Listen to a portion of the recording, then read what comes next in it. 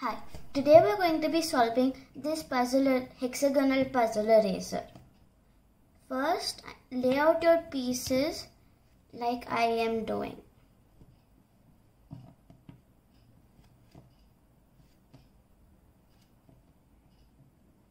Like this and then slide your pieces in this way for all of your three pets. Now you want to put this notch into this hole and this notch into this hole.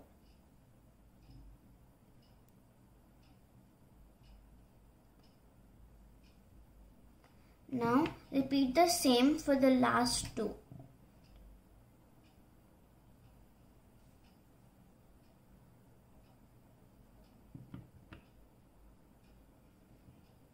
Like this.